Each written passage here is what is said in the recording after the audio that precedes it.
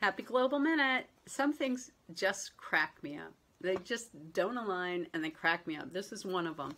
The Minority Business Entrepreneur magazine, and this is from a while ago, so I have to be fair to the company. I'm sure they've changed since then. But they decided to place a big back page ad on this magazine.